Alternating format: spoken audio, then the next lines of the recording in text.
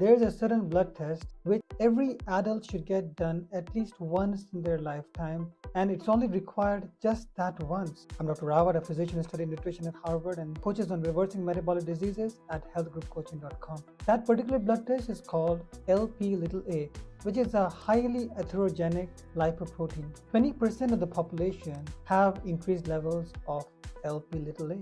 And because this is a genetic form of raised cholesterol, which does not get detected by any other blood test, but significantly increases risk of heart disease, lifestyle, dietary factors don't affect this blood test, there is no need to keep repeating it. At this time, there were no medication either, which can help with this. The reason that it can be valuable to check for this is that it significantly reduces our threshold for treating a client. A client who would ordinarily be given lifestyle advice for borderline raised cholesterol may well benefit from more aggressive treatment if their LP little a is increased.